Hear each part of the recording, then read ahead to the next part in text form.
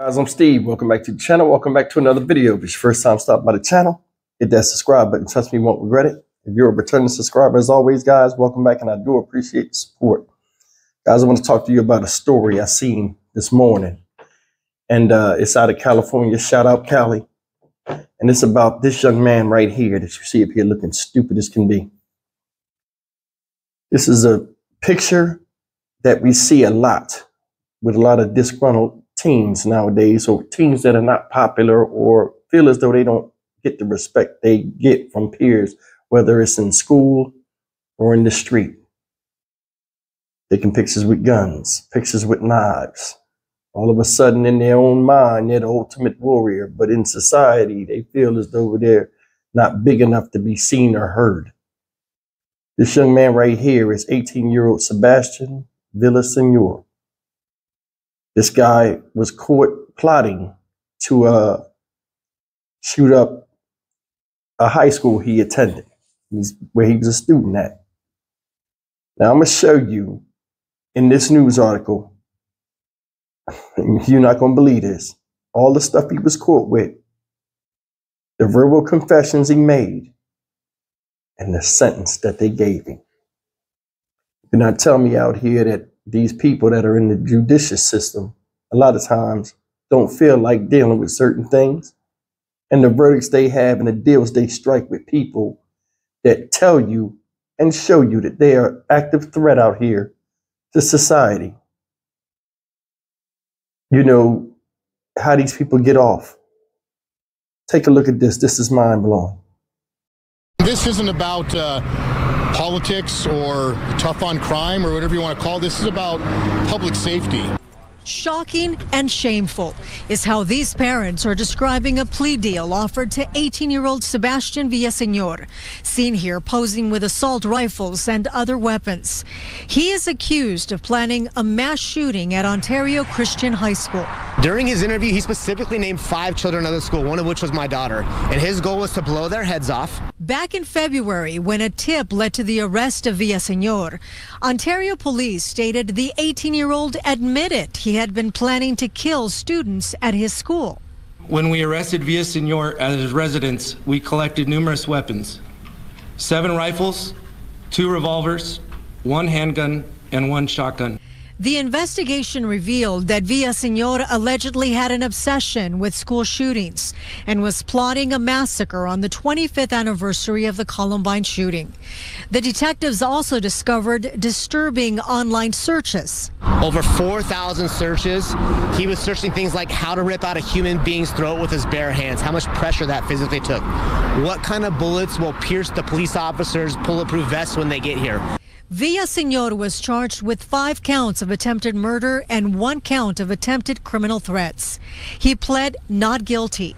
Now, these parents say the San Bernardino District Attorney has notified them of a plea deal that includes no prison time, three years of felony probation, and an order to stay away from Ontario Christian and the intended victims. And I feel the public should be well aware of this, that they are allowing this person back into the streets. I can't imagine this same DA feeling the same way and making these same choices if this was his child. Villa Villasenor's attorney issued a statement that says in part, we have always maintained Sebastian's total and complete innocence to the attempted murder charges and the claim he allegedly plotted or planned a school shooting. The proposed plea agreement seems to reflect an understanding that those allegations could never be proven in a criminal trial.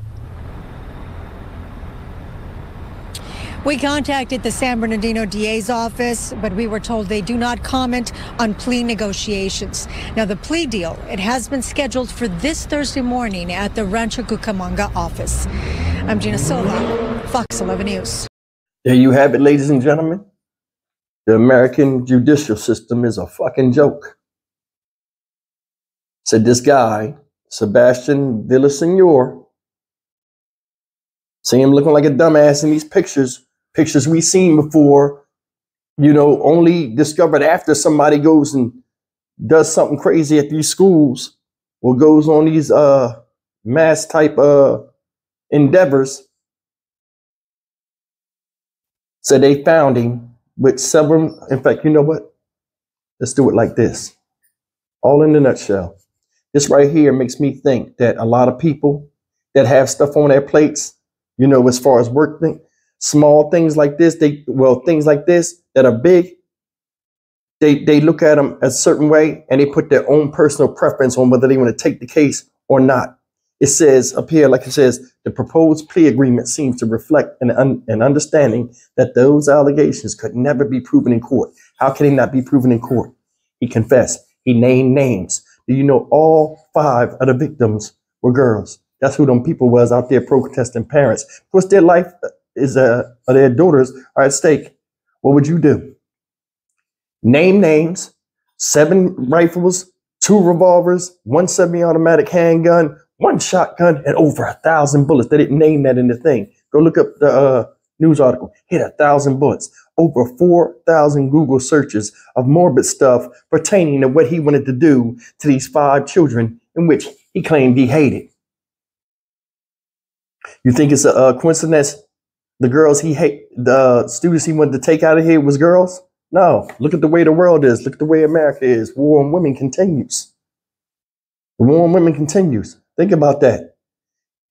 A lot of these guys are incels, involuntarily celibate dudes, dudes that can't get girlfriends, get dates. So what they do is a lot of times they turn their frustrations instead of recreating themselves and be better person or make themselves more attractive or socially acceptable to said women, they turn their anger that they have against themselves against these women or girls, what have you, in certain, certain situations. And I think a lot of these crimes you're seeing against women nowadays are because of guys having internal struggles with them within their own masculinity and self at a younger age. You agree or disagree? He had all of this stuff. They said it's not enough to prove in criminal trial, and he admitted himself over four thousand Google searches. Do you know how much time and energy that takes, and how much, you know, just just that shows focus in studying to try to make sure his plan came to fruition but they don't see it like that. They don't see it like that. I think a lot of times these DAs be working on cases that they think are bigger that make a name for themselves. Whereas something like this, they just throw it to the side. Ah, give them probation. No prison time. Three years probation, which is nothing. He just got to show up at a certain place at a certain time. A lot of times they don't even finish the three years probation because they ain't never had no criminal record. So, oh, he's been doing good for a year. Uh, we'll write him off and send him on his way. Probation is not therapy. It's not. It's just a monitoring system. And it's a joke at, at, at best. A lot of times you go on probation, you ain't even there 15 seconds. You doing okay? Just do this? just do that? Okay, thank you. They sign off and you leave out the freaking door. What a joke. You can't come near close to that school again. Don't do it. Man, come on. Come on, what are we doing out here? Now this guy's getting ready to get released and back on the street, right? Where he's on the street now. But with five people he plotted to kill still out there and gotta keep their heads on a swivel, not knowing if he gonna be a threat to them or not. I want you to think about that. Because the big picture is this, and I want you to hear me on this. The issues that's going on with that guy will come back and it may not be these five women, but it'd be somebody else. Maybe later on in life, when there's frustrations because he already can't get out of his own way and his own self security as a, a young man, because he's 18 years old. This will pour out on somebody else, and it'd be another crime we're reporting on where somebody either lost their lives, was uh, violated in a heinous way, or just mentally uh, scarred after somebody like him does something to him. It's a joke. These people don't care about nothing about the judicial system needs a total overhaul. Overhaul. That police and and the prison system. They need to rewrite some of these laws because this is so stupid. This guy went in there, admitted he was going to do it, said, uh, name the names, all the Google searches, told on himself, and you know what? He got a slap on the wrist. Make it make sense. I'm Stock Market Steve for the Dynamic Reason channel. As always, like, comment, share, and subscribe. I'll see you in the next video. Take care and be careful out there.